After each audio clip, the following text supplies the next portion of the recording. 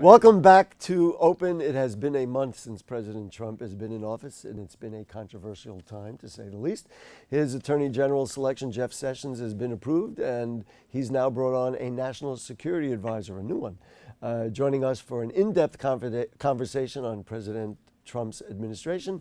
Please welcome Associate Professor at Borough Manhattan Community College, J.C. Polanco. Nice to have you again. Thank you for having me. And uh, also media and political analyst Lee Bynes. Nice to have you, sir. Good to be back. Uh, J.C., let's start with you. Um, Great.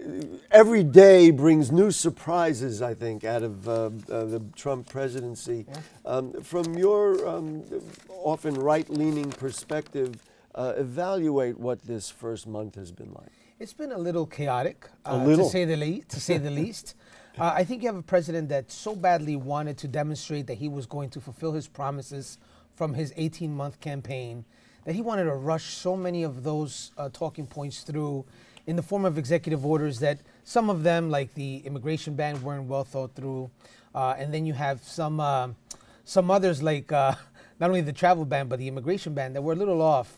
So I think that when you see his combative nature that you saw during the campaign now, you see it in the presidency. When you see how he uses Twitter the same way now that he did during the campaign, kind of throws you off. You don't really expect that. So it's been chaotic, but his supporters are very happy. His supporters are happy because he's actually coming through. He's coming through with the oil pipelines. He's coming through with the immigration ban that he promised. He's coming through with the travel ban from the Middle East like he promised. He's coming through with all sorts of things, including beginning the process of building a wall with Mexico. So if you're a Trump supporter, you're happy today. But if you were on the fence or you voted for Hillary, you're pulling your hair out as of this morning. I'll ask you one more, and then we'll let uh, uh, Lee Bynes weigh in on uh, what, what you just heard. Mm-hmm. Is he really coming through with everything? He talked about uh, overhauling Obamacare. That's a dream. The Republicans haven't figured out what to do with that. They don't. It, it was right. a lie to begin with that he was going to be able to do it, and and then he came out and lied to the public and told the public that uh, everybody's going to get coverage. It's going to be less coverage, and that's not going to happen. He also told them he was going to get that wall at Mex- uh, Mexico. Who's going to pay for the wall yeah, Mexico? Gary. And that's of course a big lie Gary, because they're never going to pay. Gary, listen. The executive order is clear. The Americans are going to put up the money for the wall first, and then he's planning on getting reimbursed through taxing remittances. That's one. And two, he said yesterday that by the second week of March, we are going to see the first phase of this so, so-called replacement of Obamacare. So when you ask me, is he coming through? To his supporters, they're happy because they're seeing some action by by the president. The first phase. Uh, I'm sorry, I have to answer, ask this question. The first phase of uh, replacement of Obamacare. At a debate, Hillary said, "Let's keep the parts of Obamacare that are good, like the 26-year-old uh, uh, permission for." Uh, uh, covering dependents pre and, and pre-existing conditions. And Trump said, no, the whole thing is a disaster. Well, he was lying to the public, right?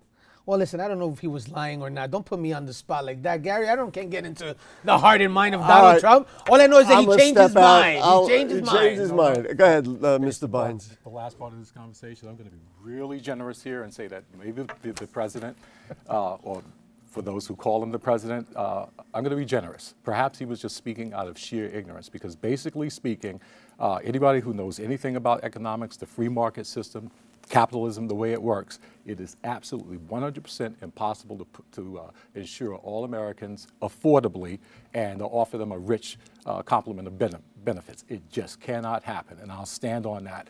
Um, where where uh, most industrialized nations have been able to provide health care for all of their citizens, that was done through a carve-out. They carved the uh, health care, they carved systems out of the economic process. In other words, it's, it's, a, it's, a, uh, it's set up on a socialist type of prospect. Now, it's still capitalist countries, but those particular items, education, healthcare, the social safety net, are all carve outs out of that, and everything else is capitalist. What the United States is trying to do and has been doing is, is uh, allowing the free market system to rear its ugly head, and there's no way that you're going to cap prices in the free market system to make it affordable for everybody. It's you just not going to happen. You said something right up at the top that gets to the, the core of the problems in this country. Mm -hmm. You mm-hmm. said some people don't think he is the president. Well, you know what? He is the president of the United States, mm -hmm. and so they could say he's not my president, but then you're feeding into the kind of uh, uh, disruption and uh, fragmentation of our society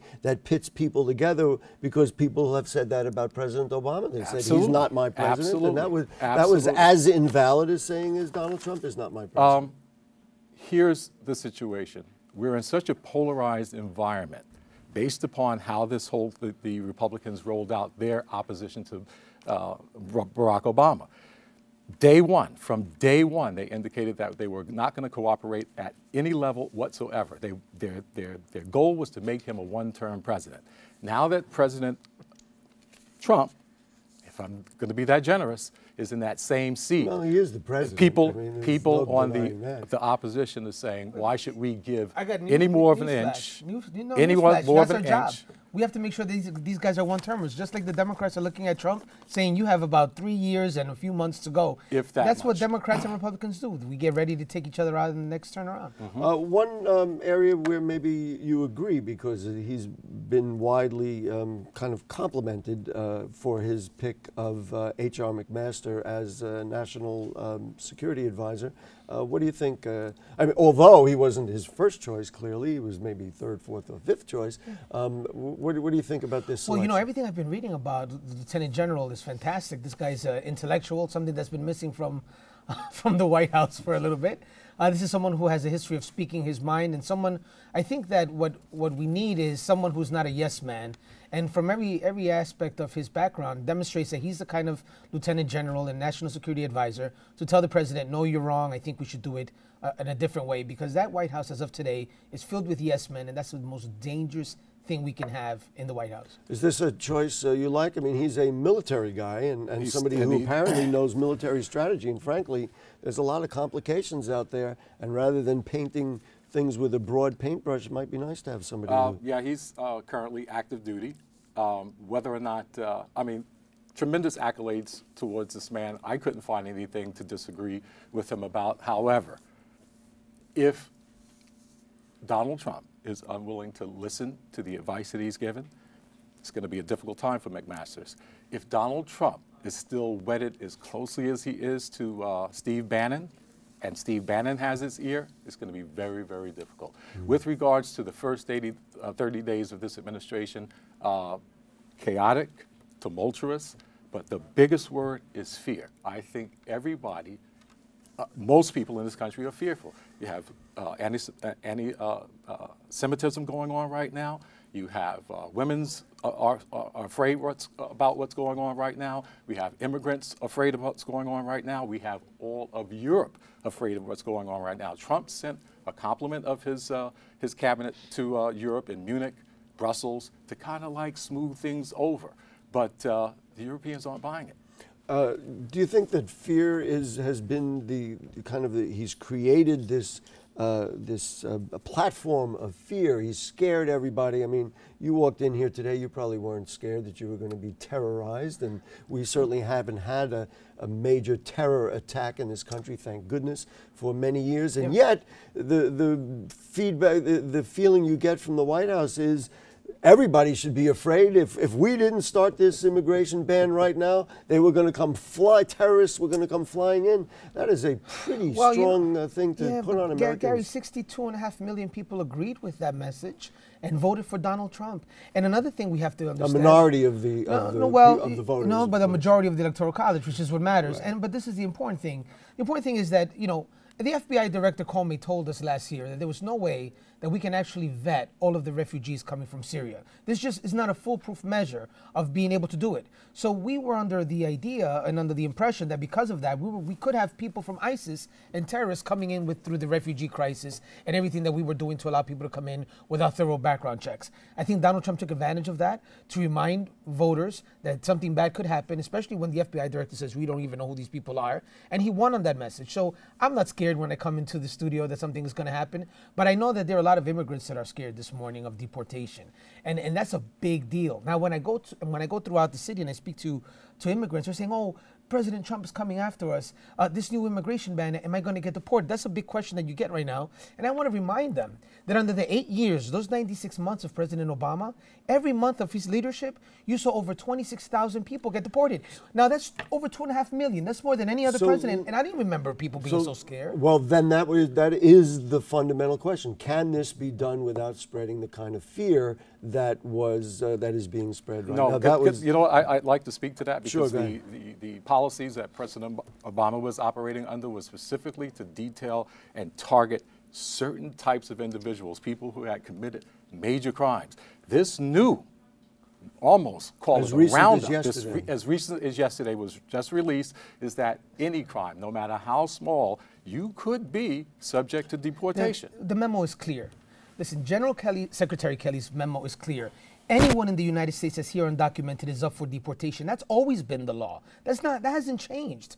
The only thing that's changed now is that now we are looking for for criminals first and then everyone else second. And that's something that people haven't heard before. Is but there- that hasn't really changed. Is there a cost to society if you take, for example, th- that case that was highly publicized? You have a mother of three or four children, even if she's here, quote unquote, illegally or in an undocumented fashion, and you take her out, don't you then create an immense problem, an immense social problem that will cost us more in the I, long can run? Can I speak to that? Uh, let- let him Okay, answer, and yeah. then Of you. course, this and is a then hu- we're going to watch the time and This see how is- much we got. Of course, this is a humanitarian crisis, but one thing you didn't mention about that woman is that she had falsified government records and she violated the law. It wasn't like she was picking daisies and the ICE came in and took her out. But again, what I is the understand there's a- cost to I know it's a humanitarian. The first things are going to be more expensive. First, we're looking at 11 million people that are up for deportation.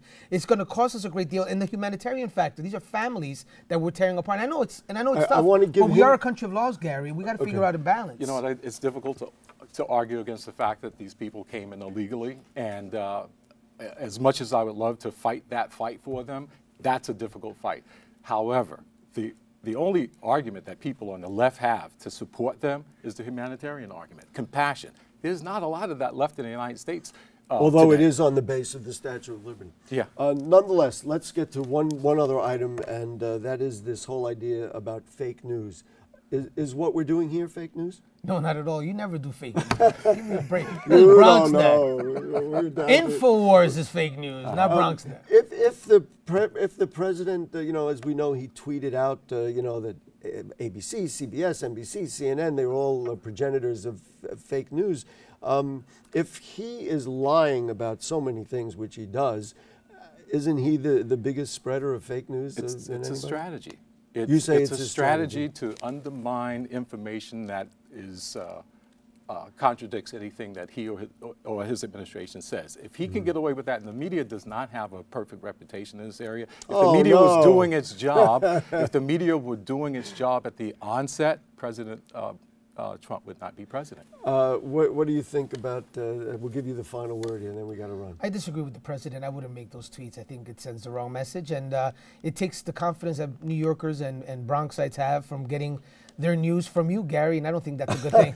I don't. I think I think it's a terrible thing because New Yorkers and Bronxites out there depend on you to get the information as to what's happening in their government. And, It's- and, it's and a I'm going to add my own editorial point. Uh, you know, uh, I mean, I don't really do news. I do opinion and talk. Mm-hmm. To me, you put it out there and let people make up their own minds. Um, it's a very complicated issue, but, But you we- try and stay as close to the facts as possible. Lee Bynes, thank you. There J.C. go. Polanco, thank you. Thank you. And uh, let's see, we'll be. They, they're telling me to say that we'll be right back after these messages, and we will.